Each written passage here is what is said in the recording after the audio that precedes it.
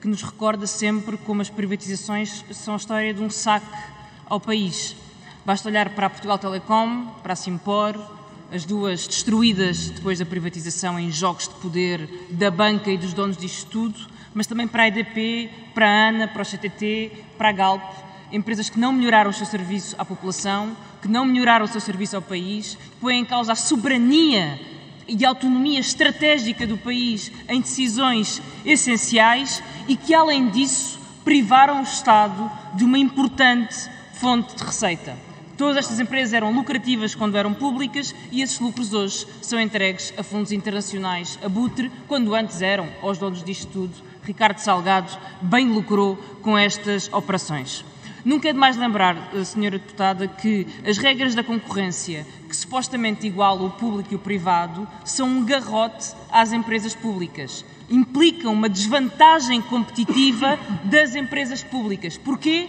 Qualquer empresa privada pode ser capitalizada pelo seu acionista, a empresa pública é proibida de ser capitalizada pelo seu acionista. É uma deslealdade que joga contra as empresas públicas. A TAP não levou um cêntimo do Estado em 25 anos. A TAP nunca foi capitalizada. E diga-me, senhores deputados da IEL, como é que se gera uma empresa que não se pode capitalizar? E como é que essa empresa vai ou não vai ter que concorrer em condições menos favoráveis ou até mais desfavoráveis? E quando foi recapitalizada, foi recapitalizada em pandemia porque o privado não o fez e foi recapitalizada com o governo dizendo que ela era estratégica. Era estratégica para o país.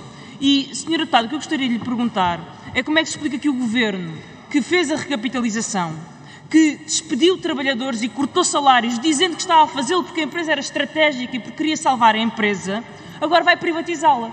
Limpou a empresa, injetou dinheiro e agora vai privatizar a empresa para ela entregar os próximos lucros, os lucros futuros, a um privado que muito provavelmente a transformará numa pequena companhia regional, porque nenhuma companhia de bandeira o é sem pertencer ao Estado. Se integrar, se integrar uma empresa privada, será uma companhia regional. Pergunto se é isto defende os interesses do país e até a argumentação que o Governo deu para recapitalizar e fazer este conjunto de operações na TAP.